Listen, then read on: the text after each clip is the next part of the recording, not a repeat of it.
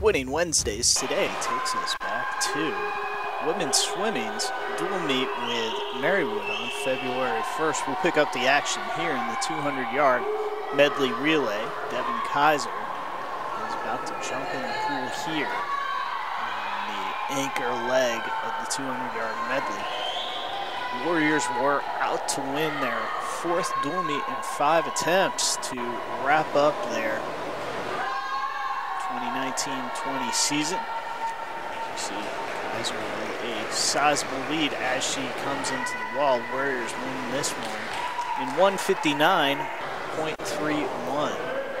That led into the 1,000-yard freestyle. And Michaela Wright has, at this point, a three-lap lead on the field as she comes into the wall at 1143.24.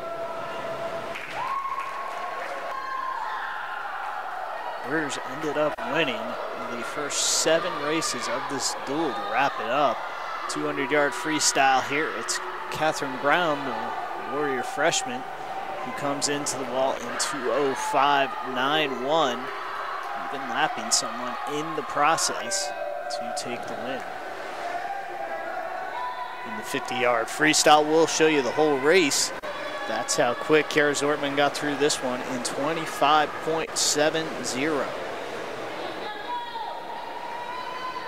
Zortman went on to have a great MAC championship, setting the school record in the 50-yard freestyle, breaking a 16-year-old school record in the process.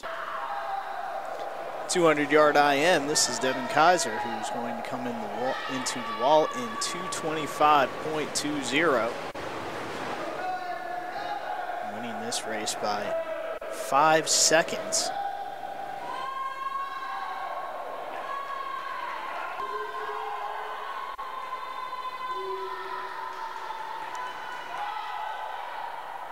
Brings us to the 100-yard butterfly.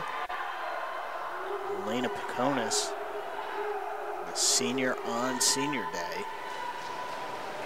To come in the wall in 106 flat give the Warriors another win.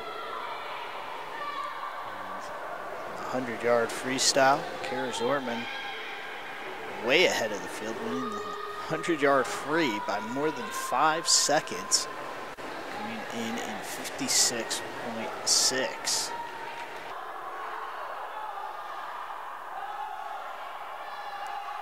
The final two races of the day, the Warriors also posted wins wins number eight and nine on the day. Catherine Brown here taking control in the 100 yard breaststroke. She will end up finishing in 110.34. And that will lead us to the 200 yard freestyle relay. Zortman finishes this one up as the team of Michaela Thode, Elena Piconis, Sheila Whitman, and Kara Zortman finishing 150.72.